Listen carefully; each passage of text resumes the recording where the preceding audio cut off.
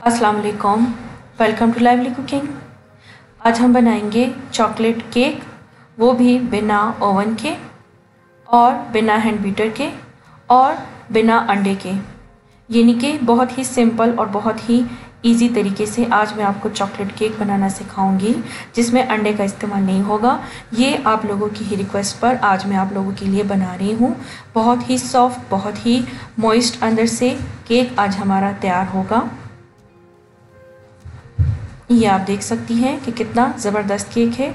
तो आइए हम इसे तैयार करते हैं। सबसे पहले हम एक बॉल में मेल्ट किया हुआ बटर या फिर ऑयल लेंगे जो नॉर्मल कुकिंग ऑयल होता है वन बाय थर्ड कप अब हम इसमें पिसी हुई चीनी शामिल करेंगे एक कप अगर आपको कम मीठा पसंद हो तो आप आ, कम भी शामिल कर सकती हैं यानी कि तीन चौथाई कप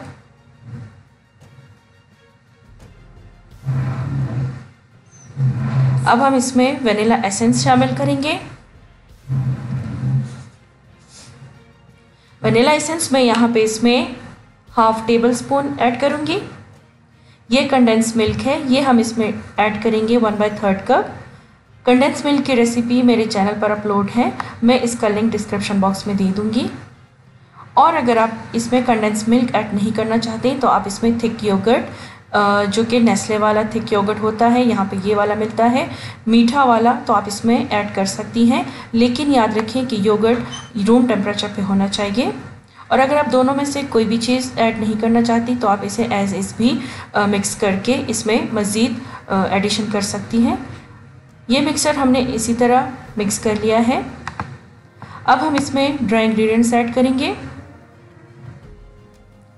ड्राई इंग्रेडिएंट्स में हमें ऑल पर्पस फ्लोर यानी कि मैदा चाहिए, एक कप जिसमें से एक टेबल स्पून यानी कि एक खाने का चम्मच मैंने हटा दिया है लेवल करके। वही एक खाने का चम्मच हम इसमें कॉर्नफ्लोर ऐड करेंगे। बेकिंग पाउडर हम इसमें डालेंगे one teaspoon dark cocoa powder हम इसमें ऐड करेंगे आधा कप बेकिंग सोडा हम इसमें शामिल करेंगे एक चौथाई चम्मच चाय का चम्मच, और साथ ही हम नमक भी इसमें एक चौथाई चाय का चम्मच ऐड करेंगे। अब हम इन सारी चीज़ों को अच्छे से सिफ्ट करेंगे। एक चीज़ जो मज़ीद मैं इसमें शामिल करूँगी, जो इसके टेस्ट और फ्लेवर को मज़ीद इन्हेंस करेगा, वो है इंस्टेंट कॉफ़ी वन टीस्पून हम इसमें इंस्टेंट कॉफ़ी ऐड करेंगे। दूध हम इसमें शामिल करेंगे एक कप दूध भी रूम टेम्परेचर पे होना चाहिए, यानी कि बहुत ज़्यादा ठंडा या बहुत ज़्यादा गर्म नहीं होना चाहिए। एक कप दूध शामिल करके हम इसे मिक्स करेंगे। अच्छी तरह से हमने इसे तकरीबन तीन से चार मिनट मिक्स करते जाना है, ताकि ये लम्स फ्री मिक्सर तैयार हो जाए। ये आप देख सकती हैं स्मूथ सा मिक्सर हमारा तैयार है। मिक्सर की कंसिस्टेंसी ये होनी चाहिए।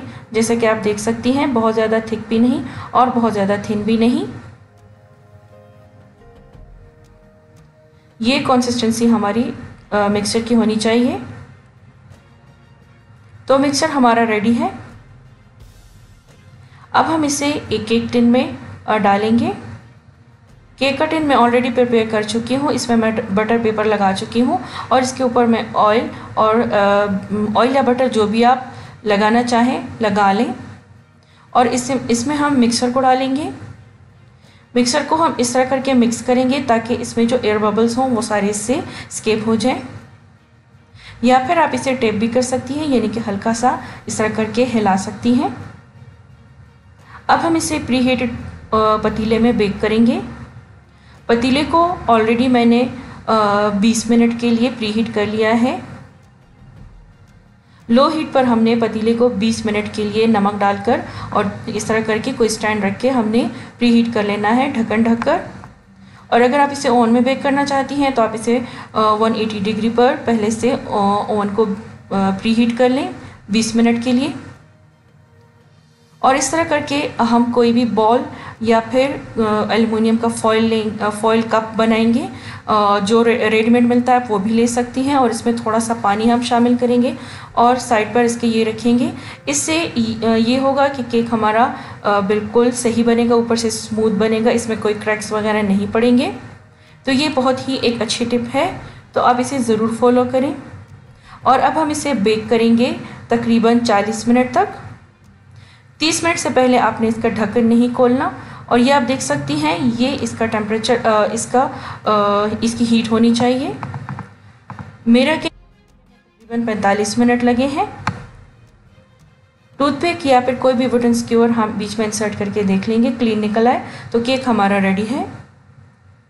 केक को हम निकाल कर साइड पे रखेंगे और अच्छी तरह से ठंडा होने के बाद हम इसे केक टिन में से निकाल लेंगे। छुरी की मदद से हम साइड साइड को इस तरह स्क्रैप करेंगे। और इसके बाद हम इस आ, केक टिन को ओपन करेंगे। जो बटर पेपर मैंने लगाया था उसको हम रिमूव कर लेंगे। अगर आपके पास बटर पेपर ना हो तो आप आ, कोई भी कागज़ लेकर उसे ऑयल में अच्छी तरह से डुबो कर नचोड़ लें और इसके बाद इसे आप बटर पेपर के तौर पर यूज़ कर सकती हैं। तो ये केक हमारा रेडी है। अब हमें अच्छी तरह से ठंडा किया हुआ विपिंग क्रीम चाहिए, दो कप। ये विपिंग क्रीम मैं ऑलरेडी आप लोगों को बता चुकी हूँ और इसका अल्टरनेट भी मैं आप लोगों को बता चुकी हूँ। जो हैंड जो विस्क हैं, वो भी अच्छे से ठंडा ठंडे होने चाहिए और जो बॉल है, वो भी ठंडा होना चाहिए। यानी कि कम से कम आप इसे 15 से 20 मिनट फ्रिज में रख लें। अगर आप चाहें तो आप इसके नीचे बर्फ़ भी रख सकती हैं, अगर गर्मियों का मौसम है। तो हमेशा non dairy whipping cream use करें, बहुत ही ज़बरदस्त उसका रिज़ल्ट आता है। और इसमें चीनी डालने की भी ज़रूरत नहीं है। मैं डेयरी वाले यूज़ करी हूँ, इसलिए मैं इसमें चीनी शामिल करूँगी। दो मिनट के लिए मैं इसे विप करूँगी। जो बेकिंग में बिल्कुल न्यू है तो उनके लिए नॉन डेयरी बेस्ट रहेगी। अब मैं इसमें पिसी हुई चीनी या फिर बेस्ट है कि आप इसमें आइसिंग शुगर ही यूज़ करें। अगर आप न्यू है बेकिंग में तो आप इसमें आइसिंग शुगर ही यूज़ करें। आधा कप या फिर टेस्ट के हिसाब से। सिफ्ट करके हम इसे आ, मिक्स करेंगे बीट करेंगे अच्छी तरह से। तीन से चार मिनट हम इसे बीट करेंगे हाई स्पीड पर। और इसके बाद हम इसमें डार्क कोको पाउडर मिलाएँगे। कोको पाउडर का डिस्क्रिप्शन भी मैं ऑलरेडी आप लोग को दे चुकी हूँ। तो इसमें जो चीज़ें मैंने यूज़ की हैं, वो मैं ऑलरेडी आपको बता चुकी हूँ। उसका लिंक भी मैं आपको डिस्क्रिप्शन बॉक्स में दे दूँगी। अब हम इसे अच्छी तरह से बीट करेंगे हाई स्पीड पर, ताकि इसकी जो स्टिफ पिक्स हैं, यानी कि जो क्रीम है, वो हमारी स्टिफ हो जाए। और ये आप देख सकती हैं कि क्रीम हमारी तैयार है। अब हम इसे साइड पर रखेंगे। केक को हम बीच में से कट करेंगे। दो हिस्सों में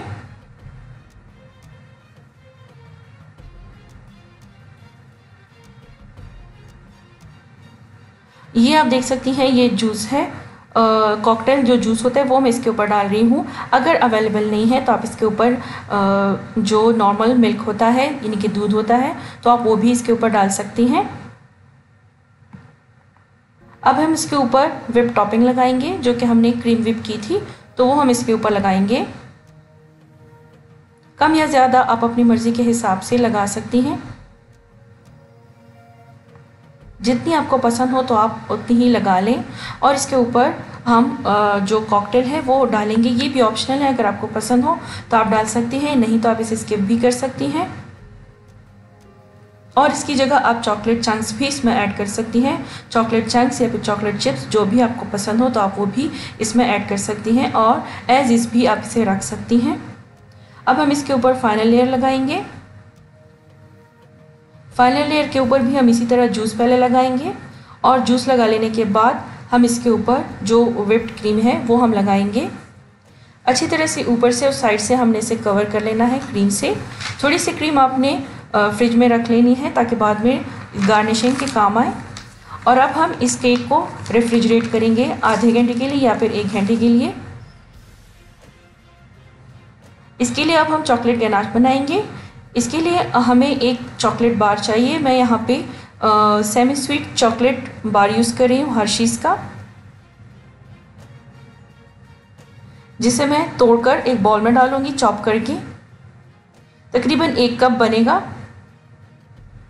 अब हम इसमें आधा कप गरम की हुई विपिंग क्रीम शामिल करेंगे। अच्छी तरह से आप इसे स्टोव टॉप पर, यानी कि चूल्हे पर ही आप इसे गर्म कर लें। अगर आपके पास माइक्रोवेव है तो आप एक मिनट के लिए इसे माइक्रोवेव में भी गर्म कर सकती हैं। अब हम इसमें गर्म क्रीम डालेंगे और इसे अब हम 30 से 40 सेकंड के लिए ऐसे ही छोड़ देंगे और इसके बाद इसे हम अच्छी तरह से मिक्स करेंगे। अच्छी तरह से आपने इसे मिक्स कर लेना है। और जब मिक्स हो जाए तो चॉकलेट गनाश हमारी तैयार है। अगर आप चाहें तो आप इसे सीव यानी कि आप इसे छलनी में डालकर छान भी सकती हैं। तो बहुत ही स्मूथ और बहुत ही शाइनी हमारा चॉकलेट गनाश तैयार होगा। तो ये तैयार है। अब हम इसे साइड पर रखेंगे ताकि अच्छी तरह से ठंडा हो जाए। तकरीबन 15 से 20 मिनट तक, या फिर आप चाहें तो आप इसे फ्रिज में भी रख सकती हैं। अच्छी तरह से ठंडा किया हुआ गनाश चॉकलेट गनाश हम इसके ऊपर पोर करेंगे। चाहें तो आप ऐसे ही इसके ऊपर पोर कर लें। चाहें तो आप इस पूरा ही इससे कवर कर लें। ये आपकी मर्ज़ी पर डिपेंड है। अगर ऊपर से आप इस तरह सारे का सारा डालना चाहती हैं तो आप इस तरह पूरे केक को कवर कर लें या फिर अगर आप साइड्स पर डालना चाहती हैं तो आप साइड्स पे भी डालकर इसे सर्व कर सकती हैं। अब आप इसे अपनी मर्ज़ी से डेकोरेट कर लें। जो विपिंग क्रीम मैंने बचा के रखी थी, उससे मैं इसे डेकोरेट कर रही हूँ। साइड से और ऊपर से।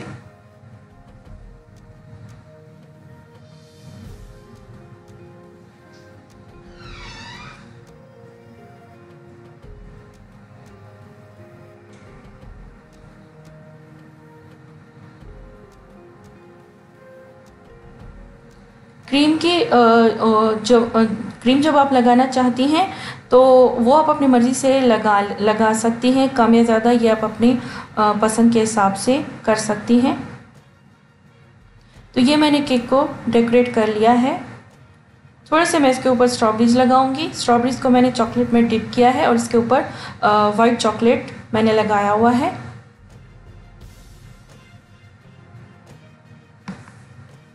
तो ये चॉकलेट केक बहुत ही सॉफ्ट, बहुत ही मॉइस्ट और एगलेस विदाउट ओवन तैयार है। अच्छी तरह से ठंडा करके सर्व करें। कम से कम तीन से चार घंटे के लिए आप इसे फ्रिज में रख दें और इसके बाद आप इसे सर्व करें। यहाँ पे मैं आपको कट करके दिखाऊँगी कि अंदर से ये कैसा बना है। क्योंकि आप में से बहुत से लोग मुझसे रिक्वेस्ट करते हैं कि आप जो भी चीज़ बनाएँ तो वो हमें कट करके दिखाएँ। तो आज ये केक मैं आपको कट करके दिखा रही हूँ और अंदर से आप देख सकती हैं कि ये कितना फ्लफ़ी है और मॉइस्ट है। तो ये आपको तभी पता चलेगा जब आप इसे ख़ुद बनाकर ट्राई करेंगे। और आप इसे बनाइए ट्राई कीजिए, मुझे फ़ीडबैक ज़रूर दीजिए। मेरी रेसिपीज़ को शेयर कीजिए अपने फ्रेंड्स एंड फैमिली के साथ। और मेरे चैनल को सब्सक्राइब करना मत भूलिएगा। मुझे दुआओं में याद रखिए। अगली रेसिपी के लिए अगली रेसिपी तक अल्लाह हाफिज़।